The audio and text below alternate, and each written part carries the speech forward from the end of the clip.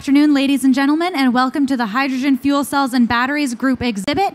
You're here at the Technical Forum, and I invite all of you who are around to grab a seat, enjoy a after lunch coffee, wake up a tiny bit, or some juice and water while we enjoy our next presentation.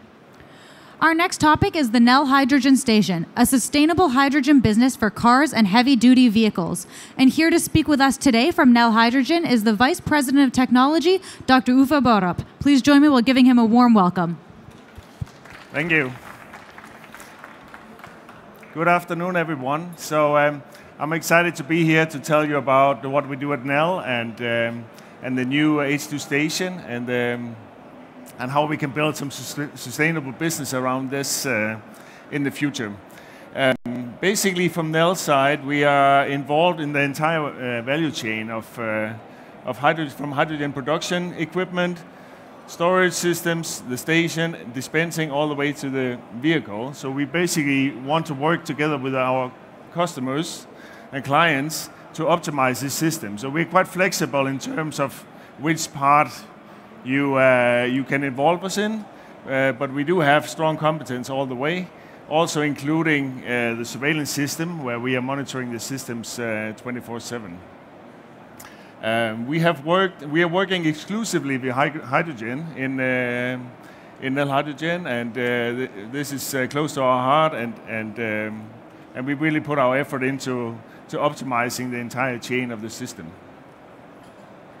Um, if you look at our new H2 station, um, this is basically a, a redesign of uh, what was launched uh, three years ago.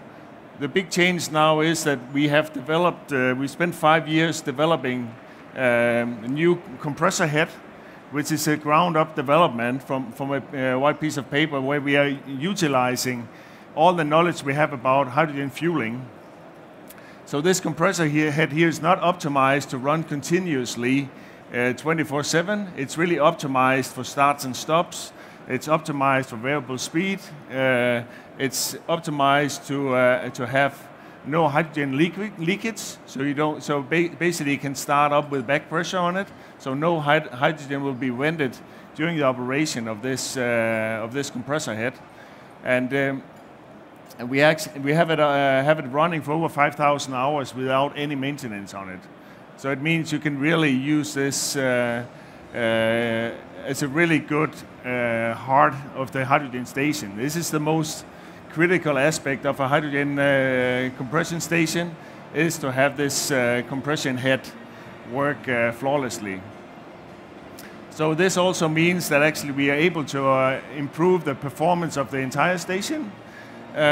so we can now have up to 45 refuelings of cars within 12 hours. And, um, and there's also a version which can be equipped for heavy duty vehicles, a 350 bar. And in that case, actually, we can do up to 1,000 kilogram fueling per day.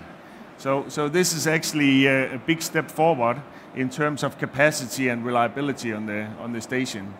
Um, you can see some of the characteristics here. Uh, so, so we really have low, high efficiency with really low power consumption uh, for the head. And this also leads to really, even when we run it really, really hard, the output temperature on the hydrogen is also much lower than what you see in, uh, in conventional uh, compression. Um, another great uh, aspect that we achieved here within the last month is that we now have a UL listing uh, on the H2 station. So that means that uh, actually we went through a two-year process with UL to check all the safety and critical aspects of the station. So now uh, the station will come with a UL listing from the factory, uh, which actually eases up the installation process a lot. So this is the first hydrogen fueling station with this uh, certification, and it, it, means that probably we can shorten down the, the, the commissioning and the installation time uh, with a matter of months and, and really important for us to start scale up uh, the, the, the, implementation of the stations. Uh, so it's so it's really based on all the, the knowledge we have from, from the, our activities in all the different countries. We're trying to, to gather that together and build that into our safety uh, design of the station. So um, So it, it will become much, uh, much faster to, to, to get through the permitting on the site. And, and basically you have much, uh, much lower project risk when you build these stations. Of course, these uh, experiences we are, we are taking around from the different um, um, regions. So also we are trying to align and influence these regulations so we get, uh, let's say, a little bit more uh, the same regulation in the different, different re regions. Today it is quite complicated to work as a global company with the same product because there is, there's still a lot of difference in, in terms of what is required in Asia and in US and Europe. Um, yeah, so uh, on the on the H2 station, basically 1,000 kilogram a day for uh, for buses, for example, and also we have now a, a really large range for inlet pressure, so that you can we can configure the the station with any kind of supply whether it's a high pressure uh, distribution where you come in with uh, trailers and park them next to the station, or you have on-site production. We can work uh, with all these um, with these methods of, of uh, production.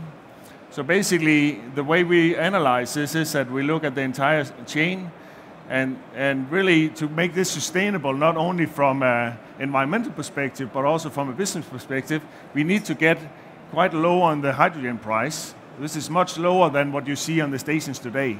Today, maybe you're paying 10 euro or more on the station, but this is not really sustainable business wise. So, to really get into these areas where we can run buses and trucks, we need get, need to get the price lower.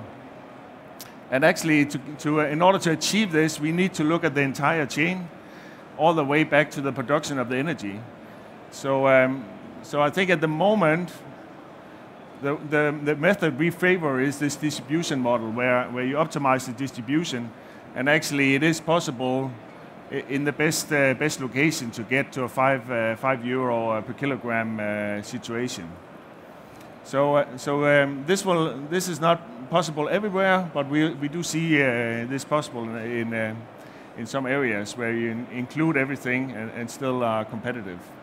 it's, it's a lot about scaling and one of the things is, uh, if you look at the electrolyzer, it's instead of just building the electrolyzer to produce hydrogen, you have to think about it in a, in a sector coupling manner where we utilize the different elements. So of course, if you can use uh, oxygen for a purpose, that can provide some value to your business case. Uh, in some areas, there's district heating systems available where you can uh, deliver the, the, the cooling or the, the off heat of the electrolyzer. That can also help on the business case. And then, of course, it's about understanding what you can do on the electric system. Can you sell some additional services for, for balancing? Uh, can you work uh, with variable pricing on the, on the, so when the wind, when, when there's a lot of renewables in the grid, that we actually operate the electrolyzer there. So a lot of optimization goes into this. And of course, also on the, on the supply, on the, on the customer side, try to uh, try to build different kind of customers into the to, into the scenario. So we're not only targeting uh, the mobility sector, but it could be that we put it together with a methanization, gas injection, or or even a refinery where we, which have a, a, need for additional hydrogen. It can be a base customer for the business case, and then we can start adding this mobility sector on top. Um, so these are some of the things we are working on at the moment. This is uh, there's a lot of wobbly graph here, but this is electricity price in Denmark uh, over the last three years. And actually, what we can see here is on the duration curve is that when you have a country where, or, or a system where you have a lot of renewable penetration, the prices starts to uh, to uh, to go down because, I mean, the wind turbines they run anyway, so they will produce no matter what the price is. So actually, we can start to see here that that we have thousands of hours now where the, the price is really suppressed. And this is really an interesting case for the electrolyzer. And, and if we don't add the electrolyzers, actually, you know, the projections is that it will go even further down when we get to, uh, to really high penetration of renewables. So there's really a sweet spot for electrolyzers to operate maybe here, or maybe we can even extend up to 60, 70%, have a high, high percentage of, of uh, green electricity, to produce hydrogen. Um, and also still have really attractive, uh, let's say, uh, pricing, which uh, where you can see in the Danish system, actually we, we are below two, uh, 20 euro per megawatt hour. It's really competitive also even uh, to natural gas. So, so there is a way forward. This is not in all markets, but we do see that when you add a lot of renewables to the grid, you start to see this situation and it will open up business, uh, business cases for, for hydrogen. Um, yeah, time is running. So, uh, so basically, the way we then model it together with the mo mobility sector is uh, to have a centralized production. This is really important because you have to pay for, for the grid connection. Uh, there's a lot of fees and, and project fees to get the project established. You need to scale up to a certain size.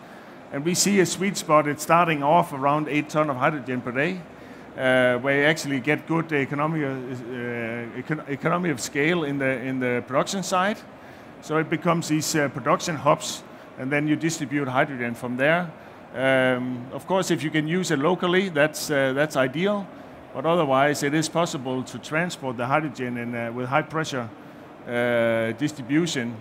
And actually, the high pressure distribution is quite attractive. If you look at, for example, bus depots, very, uh, very limited space on the depot. It's, it's hard to bring the power in in any other way uh, to the depot. So having this uh, high pressure distribution is something that really is uh, attractive for, for a bus application. Um, so if we look at, uh, at the bus sector, we worked a lot with, with buses. So if, you, if you're only bringing out a small fleet of 10 buses, it's not really possible to get to 5 euro. It's, there's too much uh, cost around the system to, to get there, and there's too little hydrogen to work with. It gets better with 50 buses, and I think around 100 buses in the best location. Actually, we can see that this is uh, this is achievable.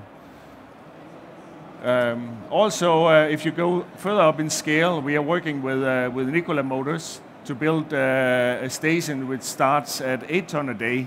Uh, so actually, here you have so much scale that it does make sense to produce it on site uh, because you can choose the location where you have access to electricity and, and the highway system. So, um, so uh, this is a really interesting project. We're talking about transferring two to three megawatt hour into the vehicle in a matter of minutes. So it's really, uh, in that sense, very powerful transfer of energy that, that will be done.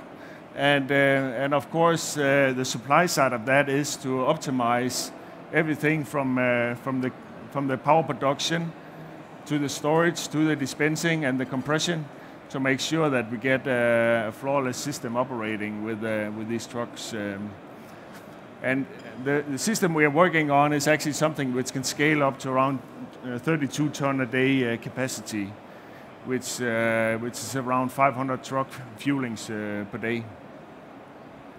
So that was uh, that was a short introduction to uh, to Nel uh, hydrogen and uh, and what we're working on in, in the mobility sector, and how we see this uh, to become more sustainable in the future. And uh, we're happy to take some questions or or discussions later on. We are we have a booth down here in um, in the hallways.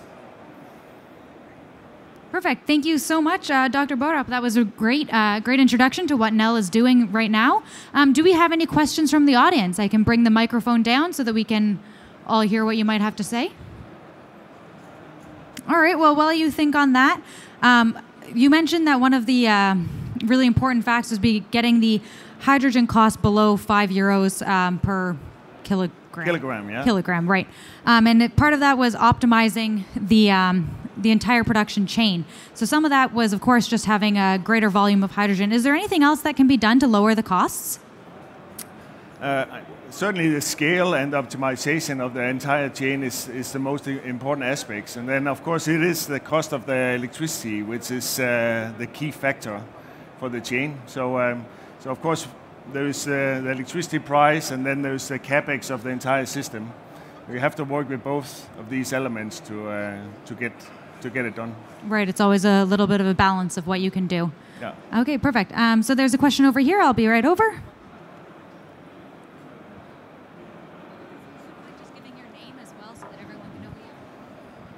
Uh, my name is Ken Tauka from Welcome Inc. Uh, go back to the first page that you mentioned about the uh, the coo- cooling for the uh, your your your hydrogen. Uh, no, no, one more. Uh, that one. So how do you cool it down? You go to the minus 40 C. Do you have any special technology to do that? Yes, it is. It is a Nel-developed technology. We use uh, CO2 as a cooling medium, and have a very compact heat, heat exchanger where we. So basically, the cooling compressor is working more or less continuously, and then we are storing up en- cold energy below minus 40, and then basically we flush the hydrogen through this cooling reservoir with the CO2 cooling. So. Uh, so that's really efficient. And of course, we can also, depending on which temperature we want to end up with, for, for heavy duty vehicles, we don't need minus 40. We, we maybe need minus 10 or minus 20. And then we will do some mixing of the hydrogen. So um, Okay, great. come, come over, we can, uh, we can explain you more. Uh, Yeah, um, so thank you for that answer. And if there are any more questions or further discussion, um, you can find Dr. Borup at the Nel Hydrogen um, booth, which is B60. Um, and you're here for the rest of the week at the fair? uh, or yes. someone from your Yeah. company? Yes. Okay, perfect. Uh, so head on over to B60 uh, for further discussion. Thank you so much for your attention, and thanks once again for your presentation. You're welcome. Cool. At this point, I'd just like to say that in another about one or two minutes, we'll be starting our next presentation. Uh, we're looking at energy independence in private homes achieved by the combination of storage technologies. So stay tuned for that, and we'll be back in just a few moments.